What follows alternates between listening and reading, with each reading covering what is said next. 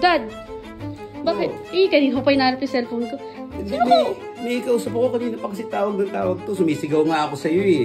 Nagpadala siya ng pera dito. Pang pocket money mo daw. Hoy! Raydick! Anong pinagsasabi mo?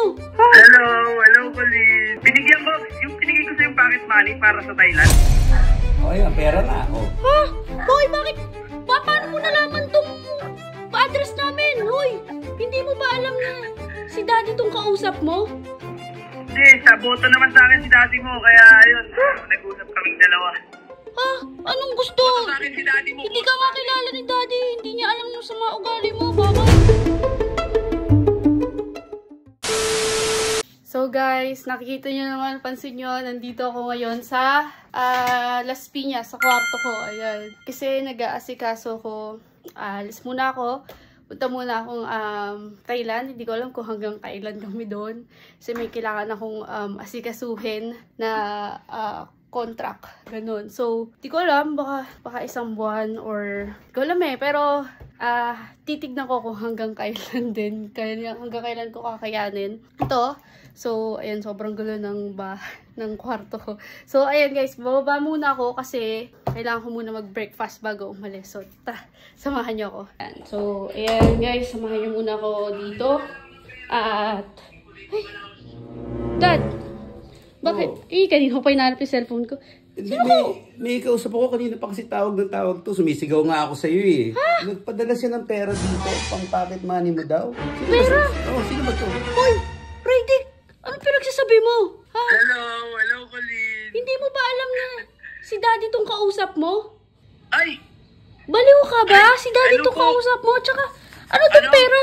hindi, sa boto naman sa akin si daddy mo, kaya nag-usap kaming dalawa. Boto si daddy sa'yo? Nag-usap kayo? Oo, oo, Wala. boto sa akin. Ha? Daddy, Ay, hindi niyo... andyan yung allowance mo. Anong allowance? Eh, Binigyan ko, yung binigay ko sa yung pocket money para sa Thailand. Pocket money? Ayun Asan- niya, ayan, Ah, may, may nagpadala kanina dito. Ayan, oh. Hindi ko, pe- pera daw pala yan, oh. pera. O, ayan, pera na, oh. Ha? Hoy, bakit? Pa, paano mo nalaman tong address namin? Hoy! Siyempre, siyempre naman. Ako pa ba? Ito na naman si Smurf!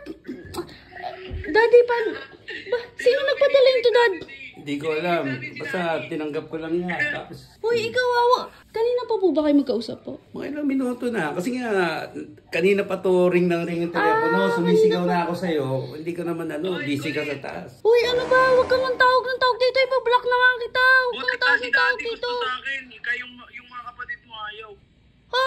Anong gusto? Boto sa akin si daddy mo. Hindi ka nga sa kilala ni Daddy. Hindi niya alam ng sama ugali mo. Babay, ibablock na kita. Akala mo dyan? Ano?